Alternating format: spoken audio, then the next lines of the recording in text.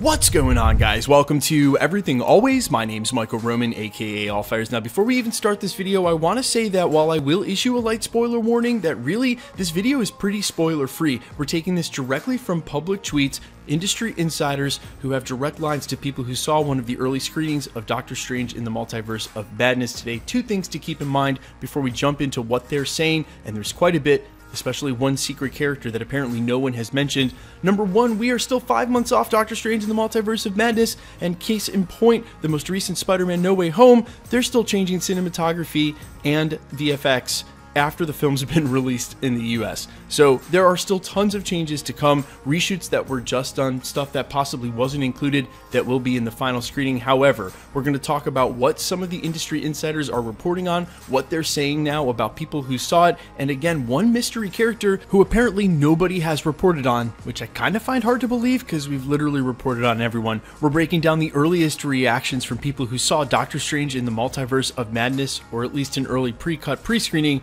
earlier today. But first, if you could grab the subscribe button, we're still giving away PlayStation 5s every 20,000 subscribers up to a million, as well as a ton of other announcements coming soon. Plus, we do daily Marvel content at this channel, and that's all we do. Everything from reports like today, industry insider scoops, official Easter egg breakdowns, trailers, reviews, and everything in between. So if that sort of thing's for you, hit the subscribe button, leave a comment down below. That'll automatically enter you for all the giveaways. If you want, stick around to the end of the video. We'll get into that stuff again there. So the normal spoiler warning here at the channel is to take everything that doesn't come directly from Marvel Studios with a grain of salt. However, today they kind of are. This is coming via industry insiders who have direct sources that were at the early pre-screening shown earlier today. And while I reminded you guys in the prologue to remember there are five months before this movie comes out and a lot can change, if this is in any way going to ruin the film for you, you might want to back out now because some of this could be considered light spoilers. This is what she had to say. Hashtag MCU is screening Doctor Strange 2 and I'm hearing very positive feedback from several sources.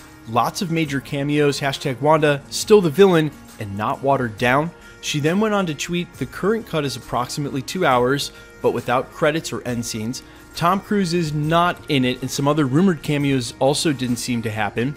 They just had a reporter DM her about a surprise cameo, so no way it stays a secret until May. She can't believe it stayed a secret until now. She also said that there was a great cliffhanger ending and that everyone at the screening loved the movie. They wanted to see Doctor Strange 3. That must have a relation to what's going on with the cliffhanger. Doctor Strange has more screen time than Wanda, but they are both leads.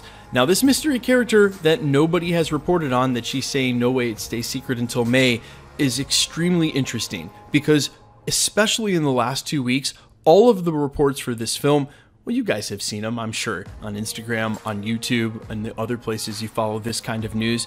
Basically, anybody who played a Marvel character at any point in TV or the big screen since they've been making Marvel properties is up for a cameo. Just yesterday, we were hearing there may be some set photos of Nicolas Cage Ghost Rider that are floating around. My point here is that if there's a cameo, perhaps it's not one of the old characters returning, and that's why we've missed the report on this. And whomever this cameo could be, could also easily be a brand new character coming to the MCU on the level of Harry Styles, prompting her to say something like, There's no way that this stays secret. It's something people are going to talk about as soon as they see it. Yes, there have been huge names, crazy names floating around recently, lightly, like Justin Timberlake. There are a ton that definitely could drop some jaws and make headlines.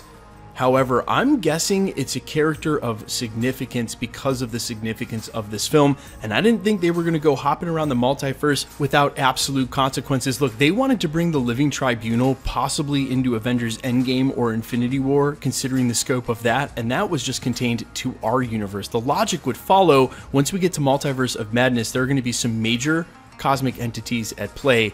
That's why I think the possibility of a live action Jeffrey Wright the Watcher from what we saw in What If. To be honest, we have not seen really any reports of this anywhere. But logically, it follows. Think about it. We're probably going to see the What If Doctor Strange version or Strange Supreme version that he locked in sort of a, cage forever, which means he might have had something to do with his release. Plus, it seems as though he's responsible for a lot of what's going on when it gets to multiversal levels. I'm not sure if they're going to go backwards and reference what happened with Ultron already, or whether or not what happened with Ultron is what prompted this multiversal Illuminati we're going to see in Multiverse of Madness in the first place, in direct reaction to that. But we've also heard the rumor, and it's basically confirmed at this point, that live action Captain Carter from that same series is going to be in that Illuminati group. So it follows that if those kind of characters are going to follow over, prompt this Illuminati group in reaction to what happened with Ultron, that a live action The Watcher would be involved as well. That would be a cameo that would definitely be worth leaking and a report we haven't seen. But really, guys, with the Marvel Universe reaching the levels it has now at this point, literally everyone is on the table.